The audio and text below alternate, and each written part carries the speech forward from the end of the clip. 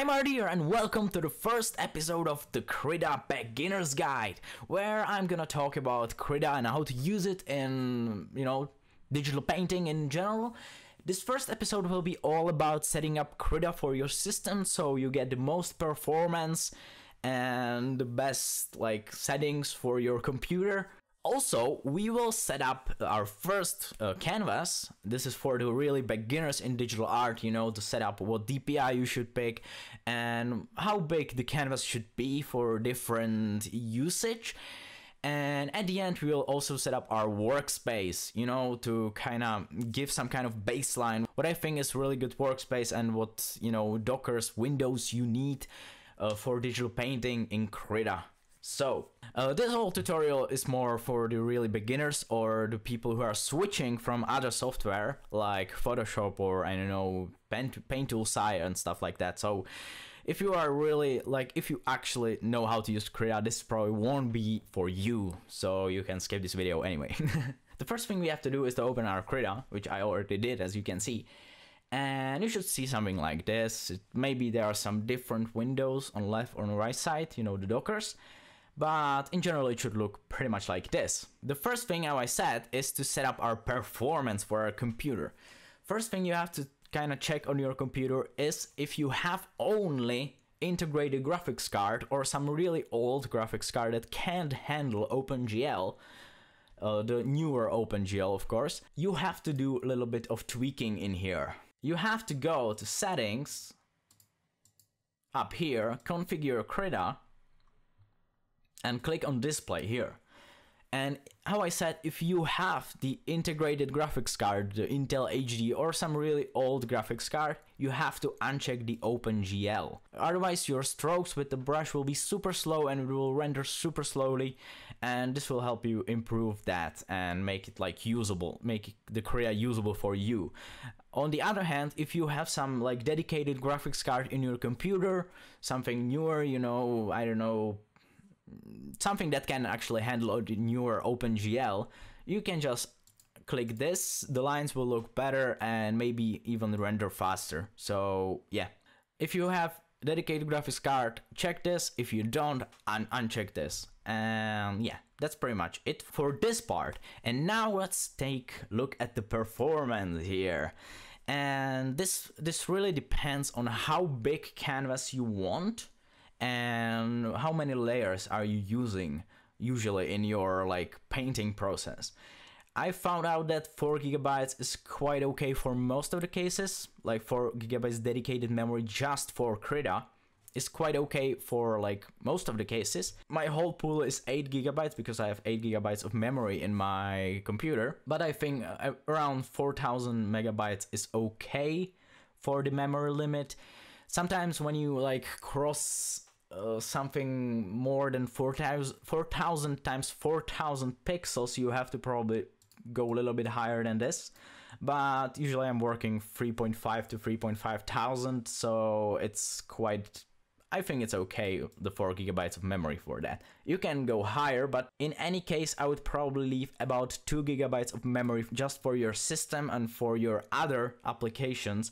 So never go like, you know, full full 100% maybe i don't know. If i have 8 gigs i would probably be able to use like 6 gigabytes just for Krita and be okay with that. But the 50% works well for me right now. That's pretty much it. You can like file size limit. 4 gigabytes is i think enough. If you have like a credible amount of layers and your whole canvas size is like incredible big you should probably increase that. But i don't think you will run out of 4 gigabytes of like of the file size anytime soon. If you are using it just for digital painting, I think you should be okay with the 4 gigabytes. Now you have some advanced things. Uh, you don't really need to change anything. Uh, maybe if you have AMD CPUs, uh, the disable vector op optimization, you can do this if you have any performance issues. Well, and that's everything for the performance side of the Krita. So let's move on to creating our first canvas and why we are creating the first canvas before like managing our uh, dockers and everything in workspaces is because you can't really do much without creating canvas like a lot of these things are you can't really do like use any of these tools or anything and you can't even save your workspace. That's the main reason why I'm doing it in this order. So the first thing we're gonna do is to create our canvas by file, new, and now we have this little window here. There are some options on the left side here in the menu. The custom document, you can just, you know, create whatever document you want.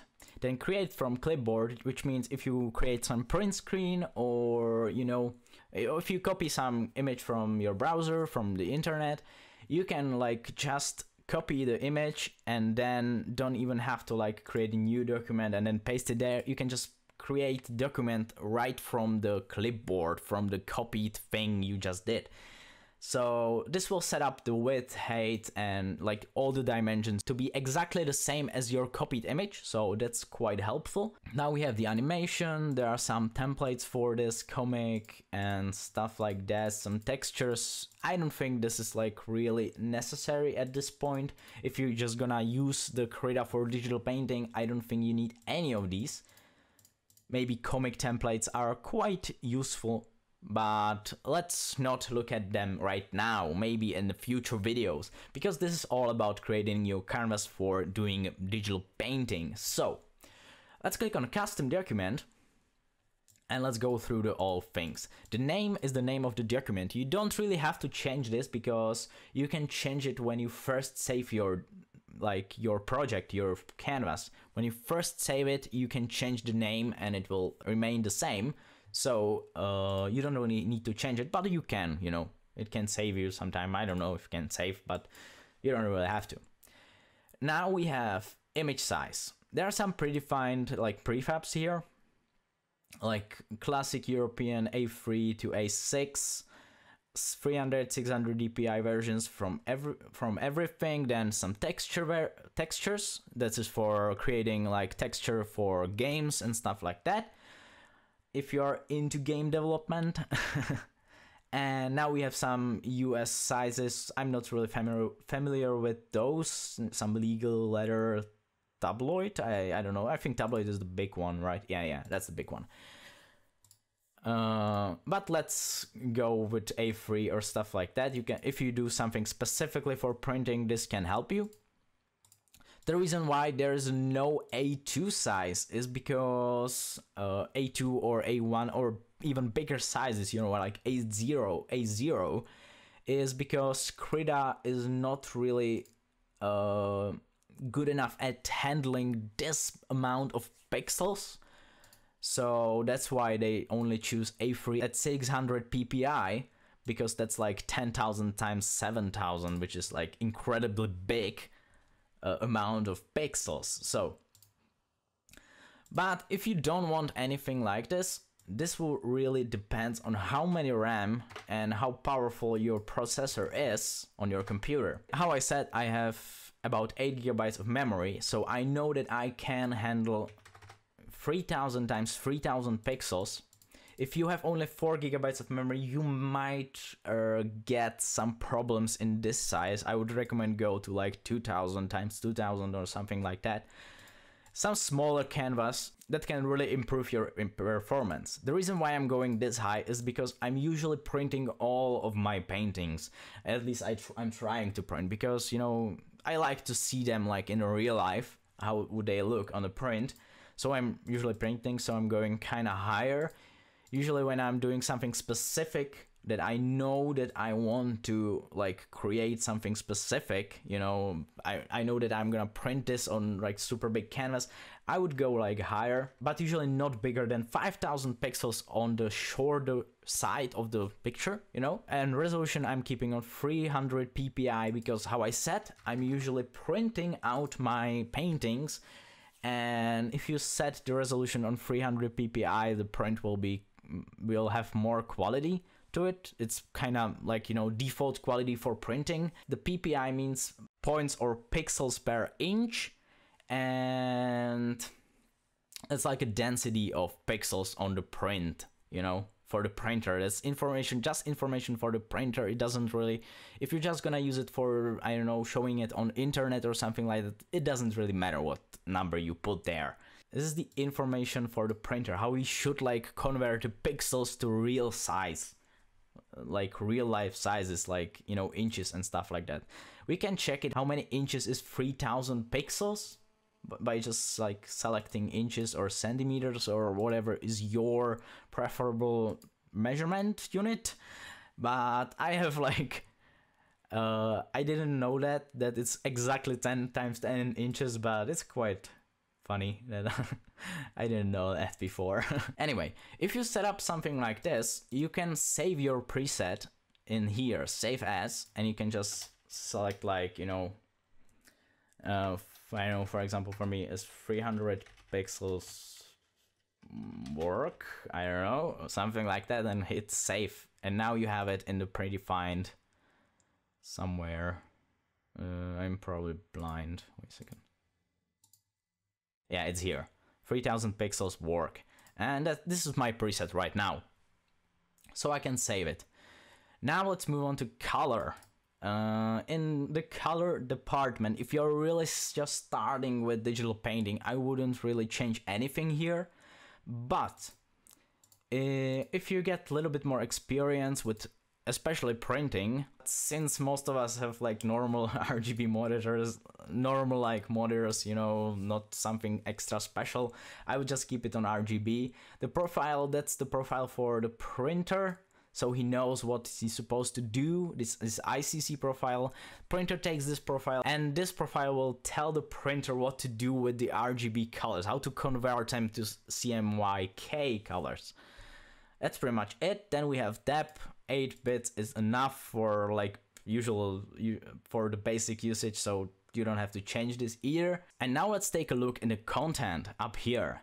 And this will kind of do a little bit preset of your like canvas and layers. We can change like the layers, how they work in this. The first layers, the number is uh, telling you how many layers will be created with the creation of the canvas. So I have it set up on two because I want my background layer and something to paint on.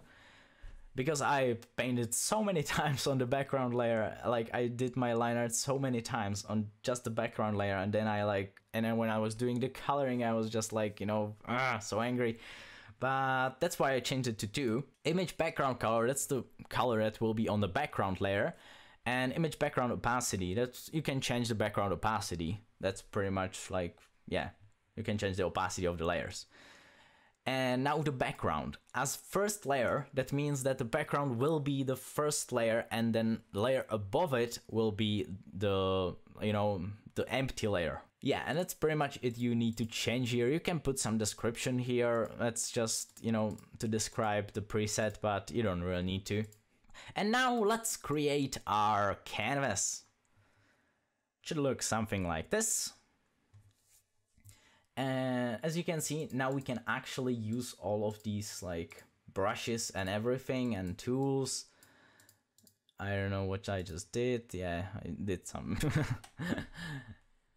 and we can use all the tools and stuff like that. Okay, so we've created our first canvas. Now let's kind of play with the whole workspace, you know, with the windows and the windows you kind of you need for painting. I I think you need for painting. Also, uh, if you have created your canvas, now you can actually change your predefined workspaces here. There's like animation, big paint, big paint 2, big vector, and stuff like that default. You probably have something like this from the default you can change it to Big Paint 2, which I kind of like. I think that's my actual setup here. Yeah, yeah, yeah. It is. And uh, you can switch up, you know, these uh, these dockers like just by catching the name here of the docker and you can like put it wherever you want. That's one of the things.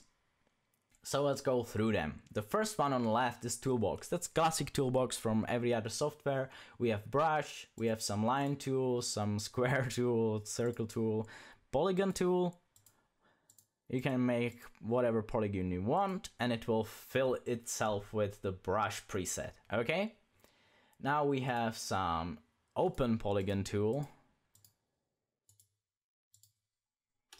which you have to like um, apply by enter, hitting enter. Now we have some curves, you know, vectors and stuff, multi-brush. I, I won't go through all of these because they are really, really simple and default and you don't really need to, like, you will kind of get it from the picture what they are probably doing. Now let's go to color sliders. You can keep these in like I'm not really using them only at some points when this advanced color selector is not really good for. For example going into really low values. I, I for example want just to switch by one you know go one value down but I can't do it here. This is more precise and now we have palettes. You probably have this empty or with really low amount of colors. A good, good thing about the palettes here that it takes the same files as the Photoshop. So if you have some palettes in Photoshop, you can import them in Krita, which is really, really useful. I like that. Now we have the advanced color selector, which is like, I really like this one. So you have dark here, light here, and saturated here. Now you have the hue, you can change the hue by this color wheel. and that's pretty much it for this. Now we can go specific color selector. I don't think anyone ever used these because it's stupid, I think. because no one, like, no artist is actually using RGB models to, like, pick color because they are super confusing. You have to do some, like, adding and dividing, I think and it's crazy. I just don't use this. This will this is just stupid. Maybe only if you have like specific color code you want to use for your painting, maybe you can use this specific color selector, but I wouldn't use it like for painting. Now we have brush presets. You probably have like these different categories Usually you have some default brushes in here. They are good enough for painting. Maybe in some time you will like want to add more presets. They are download downloadable on the site of krita.org so you can download them from there or create your own but I'm not gonna show it how to create your own brushes right now. Now we have the overview. This is like the small thumbnail version of your whole canvas and you can navigate by it just by clicking it or you know zoom with it and stuff like that. Like it's good for the over overall view on your canvas and on your painting. And now we have layers. How i said we we set up two layers. The first was the background layer with the white color and the second one is the our painting layer now we can change the blending of the layer, like addition, blur, and stuff like that. You will probably use these like in the painting process sometime in the future, maybe right now, I don't know. Now we can add layers, duplicate layers and stuff like that. I'm not gonna go through that. Now we have composition and undo history. I think the undo history is more important than the composition. I don't really, I don't find the compositions that important.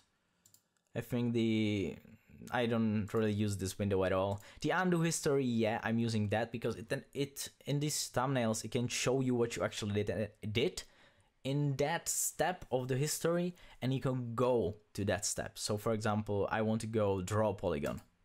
Yep, and I've got my polygon, no, polygon with this weird brush back. So this is one of the things I really like because I can see exactly what I did in that step and I can go back to it. You can set up the amount of steps you can go back in in settings, configure Krita, miscellaneous and undo stack size. Now it's set up to 30. That means you can go 30 steps back and you can go up with this one, but it will probably take some of your memory like your RAM memory. Uh, and that's pretty much, yeah, and you can set it up. Also, if you are here, the autosave every five minutes. This is really important option. So if you don't have this on, probably put it on because Krita is still kinda in development and it's open source and it tends to crash from time to time and it's really bad if you like have one hour of work and you haven't saved and you know everything's gone So if you have the autosave every five minutes, that means you can you can lose maximum five minutes of your work, which is not that bad. So yeah, put this autosave on, I guess. Okay, and that leads us to the last window here. That's the tool options. Every tool you have here has some options, and you can change them with this tool option docker. I will not go through the all the options because you know every tool has some. And it would be it would take too long to explain everything. So maybe in another video. So that's pretty much it. I hope that this little introduction to the Krita's beginner's guide series helps at least the starting artist to kind of set up your Krita so it's not laggy and it works better and that you are able to create your own canvas and set up the workspace right for the painting. That's it for this episode, thanks for watching and see you in the next one.